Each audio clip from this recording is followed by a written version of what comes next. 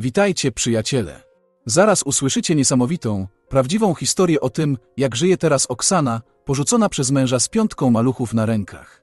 Usiądźcie wygodnie, zaraz zaczynamy. W Regionalnym Centrum Perinatalnym w Odessie Oksana Kobeleckaja 24 czerwca 2016 roku, mając 37 lat, urodziła pięć naraz. To była medyczna sensacja. Ukraińskie gazety i czasopisma pisały o kobiecie, która zaszła w ciążę z piątką bez pomocy IVF. Przed tym wydarzeniem Oksana pracowała jako inżynier analityczny i była na urlopie macierzyńskim z córką Elis. Kobieta i jej mąż Siergiej chcieli urodzić małą siostrę lub brata, ale zamiast jednej Oksana urodziła pięć naraz. Zainteresowanie nią było tak duże, że postanowiła założyć stronę na portalu społecznościowym, gdzie szczerze opowiadała o swojej rodzinie i sobie, udzielała praktycznych porad i zamieszczała zdjęcia. Kiedy Oksana przyszła na badanie USG, lekarka zaczęła patrzeć w monitor, jej twarz zmieniała się co sekundę. Młoda matka zdążyła się nawet przestraszyć, myślała, że z dzieckiem jest coś nie tak. Wkrótce lekarz podał liczbę płodów, ale lekarze ostrzegli rodzinę, że jeśli dzieci ważą mniej niż 900 gramów, nie będzie łatwo je wydobyć. Oddział intensywnej terapii w miejskim szpitalu położniczym nie był przystosowany do jednoczesnego przebywania tak wielu dzieci. Oksana i jej mąż zdecydowali się na ciążę mnogą, choć lekarze sugerowali redukcję. W 31 tygodniu musieli wykonać nagłe cesarskie cięcie. Najpierw urodził się Dawid, kilka minut później dwóch chłopców, Denis i Vlad, a następnie dwie dziewczynki, Dasze i Sasze. Wszystkie dzieci ważą od 1190 gramów do 1810 gramów. Zorganizowano pięć zespołów reanimacyjnych, sprowadzono nawet sprzęt z innych szpitali.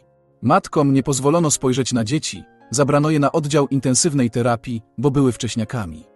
Władze miasta dały rodzinie pięciopokojowe mieszkanie i mikrobus. Drodzy widzowie, jeśli są wśród Was rodzice wielodzietni, to napiszcie proszę, czy rząd dał Wam samochód lub mieszkanie w Polsce. Piszcie, będzie bardzo ciekawie czytać Wasze opowieści, zękujemy i będziemy kontynuować.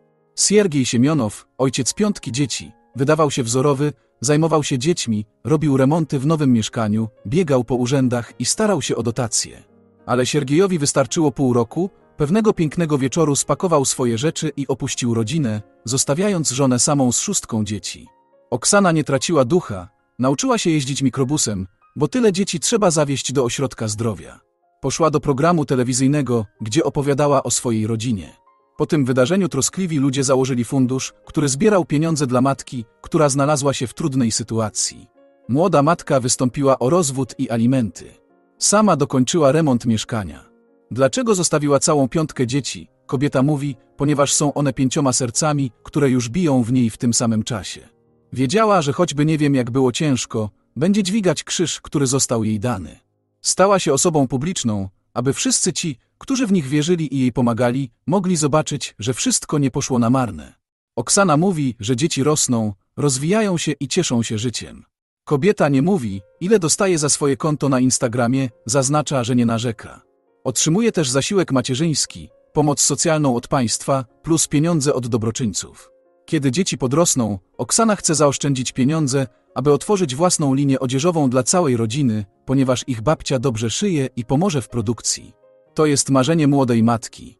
Co o tym sądzisz? Co sądzisz o zachowaniu ojca dzieci, Siergieja, który je opuścił? Myślisz, że po jakimś czasie wróci do rodziny i czy Oksana go zaakceptuje? Podziel się swoją opinią w komentarzach pod filmem. Kochani, wspierajcie kanał swoimi polubieniami i subskrypcjami. Dziękuję za oglądanie, zobaczymy się w kolejnych odcinkach na kanale. Moi drodzy widzowie, do zobaczenia.